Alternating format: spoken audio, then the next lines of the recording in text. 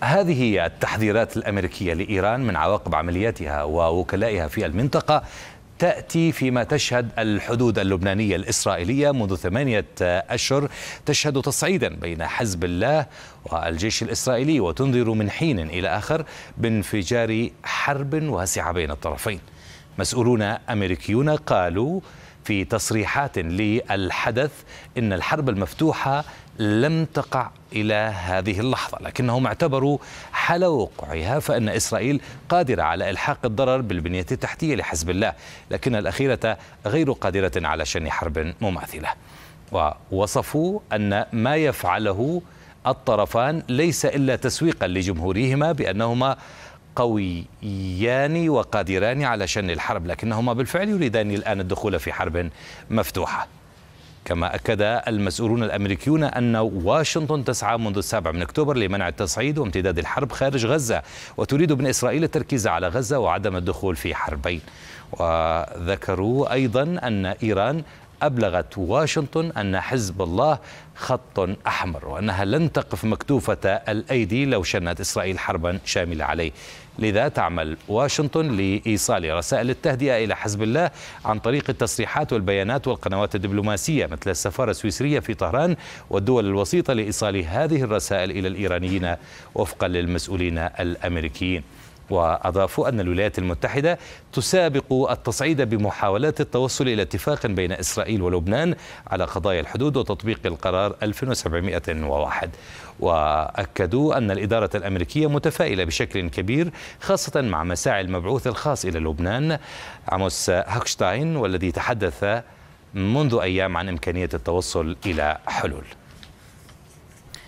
إذا من واشنطن ينضم إلينا مساعد وزير الخارجية الأمريكي السابق ديفيد شينكر. مرحبا بك سيد ديفيد. ما الذي جرى بين طهران وواشنطن مؤخرا؟ على ماذا اتفقا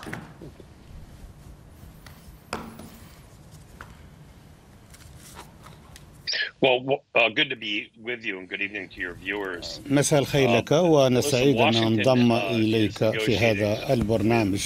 الواقع أن واشنطن تتفاوض مع لبنان عبر الوسيط حزب الله على جبهة و هناك أيضا جبهة أخرى مع إيران حيث أن ماجير كبير المستشارين يعمل على الملف النووي الإيراني في مسعى للتوصل إلى اتفاق ما للعودة إلى خطة العمل الشاملة المشتركة وبعض عناصر هذه الخطة. ولا أعتقد أن هذه الجهود ستكلل بالنجاح لكن المسار الملح هو المسار اللبناني وتجنب حرب جديدة مع حزب الله. فواشنطن تسعى لدفع مع فرنسا بخطة من أجل جعل قوات حزب الله تبتعد إلى سبع كيلومترات عن الحدود مع إسرائيل وأن يكون هناك قوات لبنانية تنتشر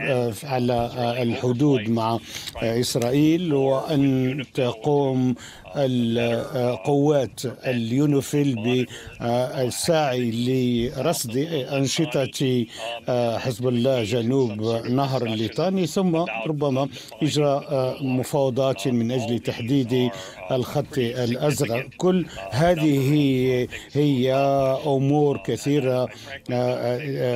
لا أعتقد صراحة بأن حزب الله سيكون مهتما لقبول اتفاق من هذا القبيل.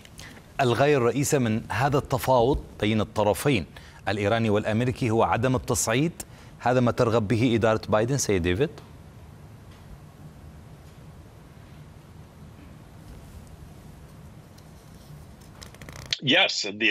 نعم طبعا الإدارة هدفها الأساسي هو تجنب التصعيد وانتشار رقعة الحرب. ورأينا بعض التصعيد حتى الآن حيث أن إسرائيل تهاجم أهداف داخل لبنان وقتلت إسرائيل أكثر من 300 من عناصر حزب الله. وحزب الله يستخدم أنواع جديدة من المسيرات ضد أهداف أبعد من الحدود. إذا هناك تصعيد ولكن المراد هو تجنب اتساع رقعة الحرب أكثر من ذلك.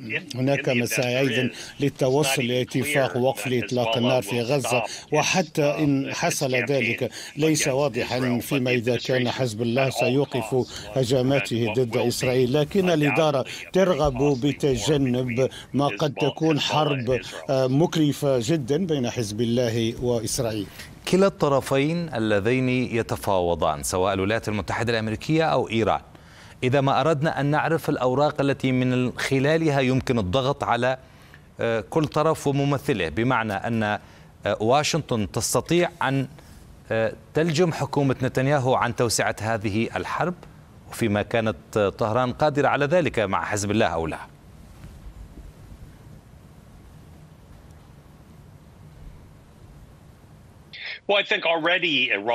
أعتقد أن إيران قد أبلغت حزب الله بأنها لا ترغب في أن تشن حرب شاملة وإلا لحدث ذلك. وبالتأكيد فإن إدارة بايدن تسعى للضغط على حكومة نتنياهو حتى لا توسع رقعة الحرب وتقوم تنفيذ عملية رفح أعتقد أن الإدارة تسعى لتوسط اتفاق ما من خلال عرض على حزب الله وقف لتحليق الطائرات الإسرائيلية وتعهد بالتفاوض وكذلك الانسحاب من المدينة الحجر وتحديد 11 نقطة يتم التفاوض بشأنها. ربما يكون ذلك في مصلحة لبنان. أعتقد ووفقا لجريدة الأخبار القريبة من حزب الله فإن هوكستين قد يرغب في ربط انتخاب الرئيس الجمهورية في لبنان وربما دعم المرشح المفضل لحزب الله في هذه الانتخابات وهو سليمان فرنجي القريب من حزب الله وسوريا ليس واضحا ما سيحدث ولكن أعتقد أنه يتم العمل الآن على الحوافز على أمل أن تكون أكثر جدوى من التهديد. هذه نقطة مهمة. سيد ديفيد. اقتربت إدارة بايدن لأن تعطي هذا الملف جائزة ترضية لحزب الله بوصول سليمان فرنجية إلى قصر بعبدة.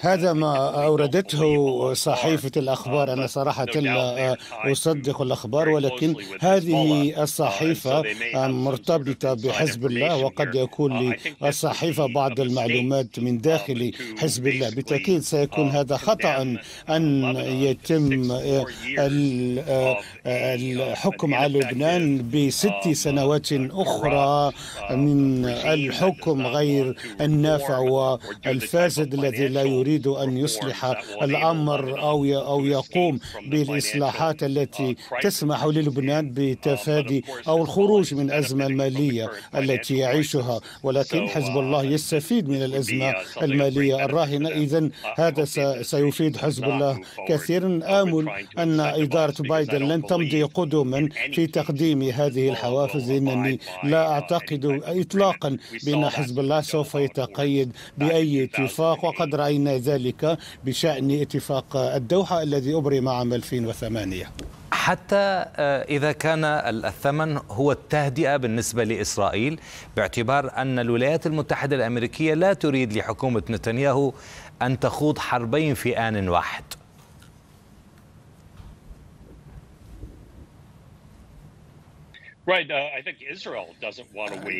أعتقد أن إسرائيل لا ترغب في أن تشن حربين في نفس الوقت. فقد أمضت إسرائيل أكثر من سبعة شهور الآن في غزة ولم تستكمل العمل بعد وقد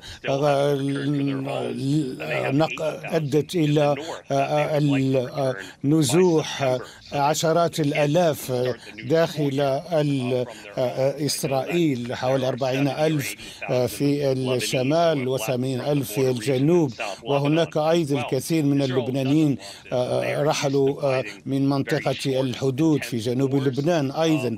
فأعتقد أن هناك مساعي من أجل التوصل إلى هدنة ما من أجل إعادة ملء المخازن والاستعداد لما يمكن أن يكون حملة واسعة النطاق في لبنان. قد لا يكون ذلك خيار إسرائيل ولكن قد يحدث ذلك في نهاية المطاف إذا لم تكون لدى حزب الله وإيران الرغبة في التفاوض بشأن هذا الوضع. طيب ولكن من خلال متابعتك وقراءتك سيد ديفيد أليست فرصة سانحة لحزب الله كي يفرض معادلة جديدة بوصول مرشحه إلى قصر بعبدة؟ وهي نقطة مهمة بالنسبة له يعني مسألة التلويح بشن أو فتح جبهة الجنوب والشمال بالنسبة لإسرائيل وبالتالي يعني يصل إلى معادلة مرضية له.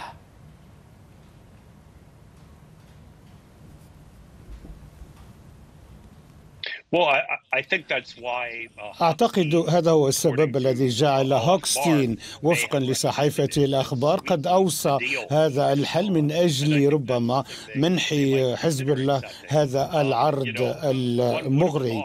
وربما هناك فكرة جيدة مفادها هو أن حل مشكلة الخط الأزرق من خلال عرض شيء جيد مع لحزب الله الذي يتحدث عن تحرير جنوب لبنان وأن حزب الله هو حركة المقاومة ضد إسرائيل.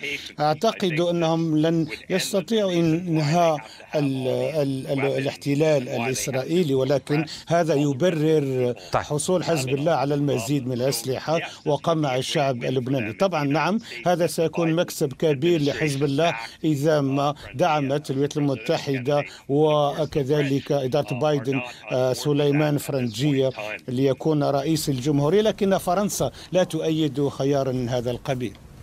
طيب. سيد ديفيد سيتكرر المشهد روبرت مالي فيما يخص إيران. وإبرام بعض الأمور قد لا تكون في صالح الولايات المتحدة الأمريكية. اليوم عاموس هوكشتاين كذلك إبرام بعض الاتفاقيات التي قد لا تكون في صالح الولايات المتحدة الأمريكية.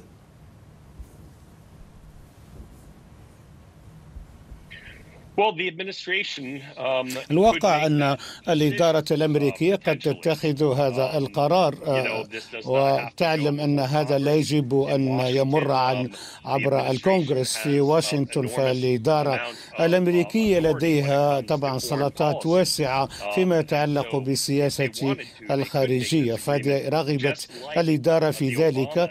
تستطيع أن تبرم هذا الاتفاق كما فعلت إدارة أوباما بشأن الاتفاق النووي مع إيران حيث أن ذلك لم يمر عبر الكونغرس ولم يوافق عليها الجمهوري لكن الولايات المتحدة وقعت على الاتفاق. وكما أسلفت فهذا طبعا سوف يتسبب ببعض الغضب لا سيما لدى الفرنسيين الذين تبنوا موقفا مبدئيا مفاده عدم ربط الرئاسة اللبنانية بالمفاوضات بشأن خفض التصعيد في لبنان. ولكن نعم الإدارة قادرة على القيام بذلك لكن ذلك سيكون خطأ مأساوي. ولكنهم جاءوا بالفكرة ذاتها التي تتحدث عنها نقلا عن صحيفة الأخبار نقلا عن هكشتاين سيد ديفيد بأنهم يريدون وصول سليمان فرنجية وهو مرشح حزب الله إلى قصر بعبدة. إلى أي حد ثم التنسيق ما بين المبعوث الأمريكي الخاص وكذلك الفرنسيين؟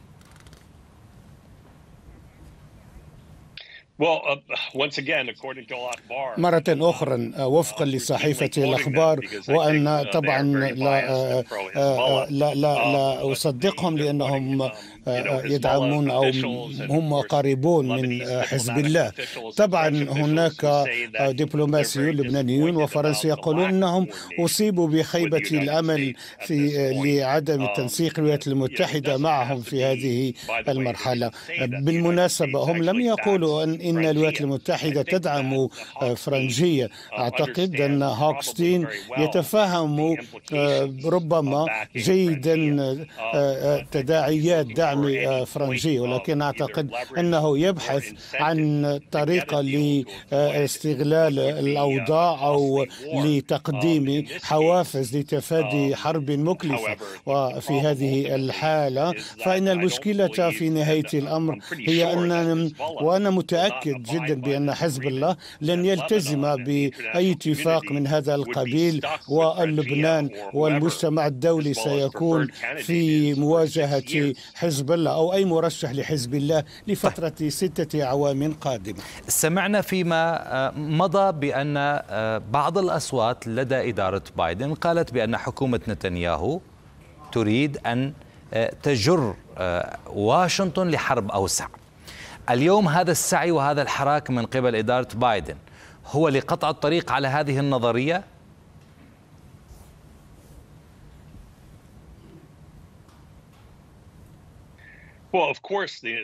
بطبيعة الحال الولايات المتحدة لا ليست مهتمة بحرب واسعة ليس فقط بالنسبة لتكلفتها ولكننا على مقربة من الانتخابات الرئاسية واستطاعات الرأي ليست بمصلحة بايدن وأي حرب ستنهي فرص بايدن في إعادة انتخابه لكن هذا لا أعتقد أنه دقيق جدا.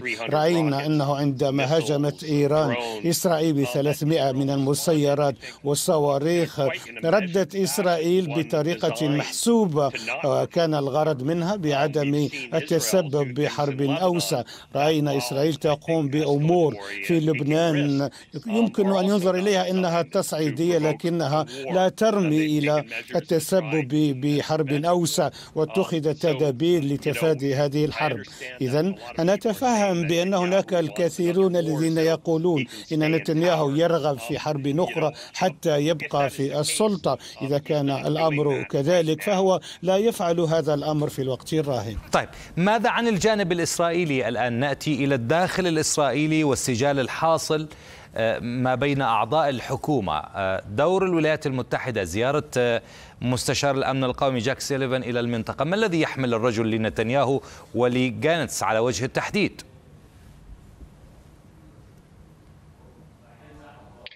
Well, listen, I don't know what لا أعلم في الواقع ما يعرضه جيك سوليفان ولكن برأيي أنه يسعى لفهم أفضل لخطة الحرب الإسرائيلية في رفح ثانيا هو يرغب في تيسير دخول المساعدات الإنسانية بعد إغلاق معبر رفح وهناك قلق بشأن الأزمة الإنسانية في غزة. وثالثا هذا له صلة بالانقسامات الموجودة بين ونتنياهو هو يرغب في معرفة ما هي الخطة لليوم التالي لانتهاء الحرب في غزة. وهذا طبعا سيكون أمر مهم بالنسبة لبايدن وكذلك الجمهوريين. فبعد سبعة شهور من الحرب ظل رئيس الوزراء أبدا لن أقبل بوجود حماس والسلطة الفلسطينية في غزة. هذا يعني بالأساس إعادة احتلال إسرائيل. لقطاع غزة. لا أحد يريد في ذلك وهذا ما أدى إلى الانقسامات التي نراها في إسرائيل. وجيك سوليفان يسعى باعتقادي لربما دفع الإسرائيليين للتعبير عن رؤيتهم وأن يعلنوا عن ذلك فيما يخص قطاع غزة. لأنه على الرغم من أن الحرب مستمرة فإننا نصل إلى نهاية اللعبة في هذه الحرب. ويجب أن نعلم إن آجلا أو عاجلا ما سيأتي بعد انتهاء الحرب. بالتأكيد هذا لن يكون إعادة احتلال القطاع من قبل إسرائيل.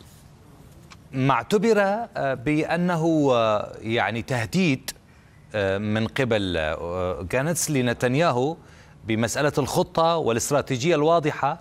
يقال بأنها الورقة الأمريكية سيد ديفيد وبالتالي قرب جانس من الولايات المتحدة من الممكن أن يجعل موقف نتنياهو أكثر عندا فيما يخص الحرب واجتياح رفح كذلك ما الذي يمكن لواشنطن أن تفعله في هذا الشأن؟